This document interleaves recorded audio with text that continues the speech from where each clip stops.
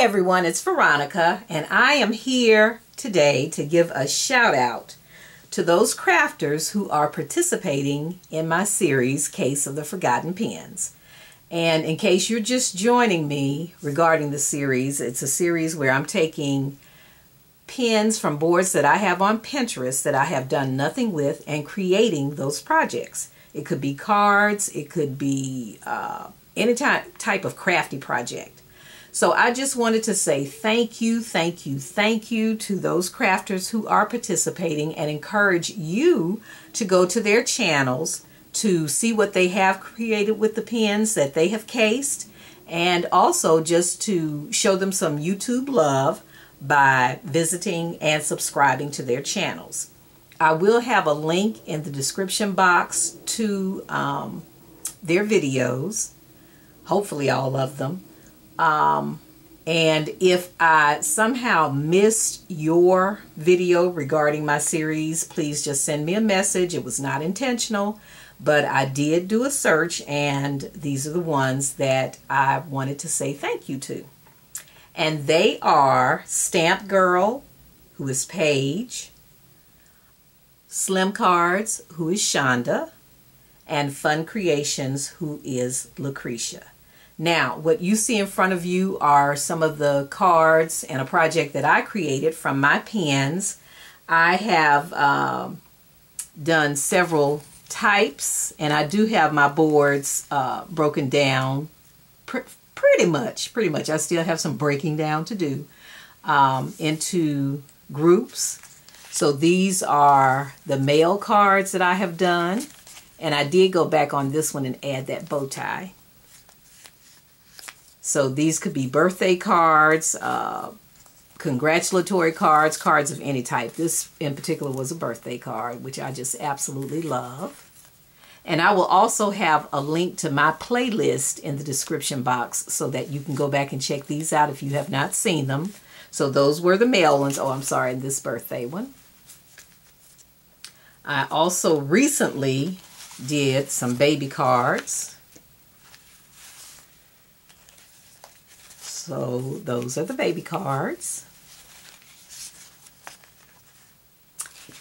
And, uh-oh, I missed a couple. All right, now those are the baby cards. Okay, cards for babies. I have uh, some other birthday cards. And these particularly are for females and uh, I am missing one of the cards. It was this shoe that I had done in red glitter and it's missing because I had to use it. And that's one of the purposes for my um, series is to also create a stash for myself.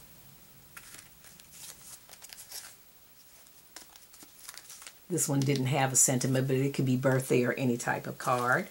And I also did this little mini. It was a one sheet mini, which I thought turned out so cute.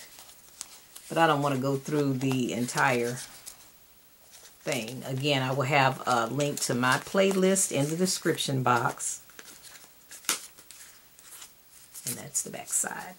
So please, please, please come along, join the fun. Check out those who have created and I guarantee you will be duly inspired to create some of your own.